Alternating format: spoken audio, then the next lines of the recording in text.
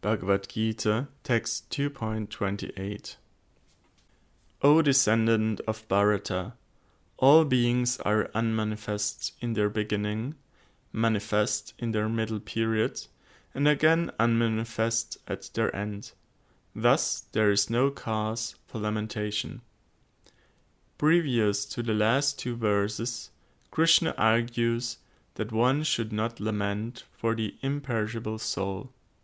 Here he argues that one should not lament for the loss of the body either, for it is always existing in terms of its elemental constituents, although in an unmanifest condition before and after the body actually manifests during the period of a lifetime.